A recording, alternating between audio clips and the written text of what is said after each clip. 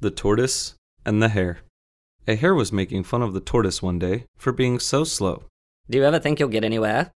He asked, with a mocking laugh. Why, yes, replied the tortoise, and I get there sooner than you think.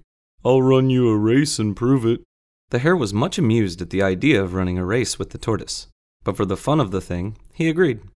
So the fox, who had considered to act as a judge, marked the distance and started the runners off. the hare was soon far out of sight.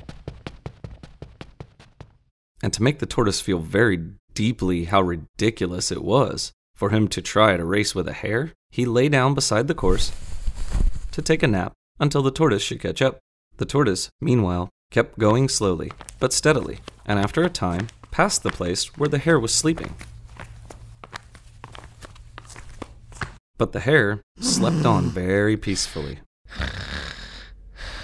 And when at last he did wake up, the tortoise was near the goal.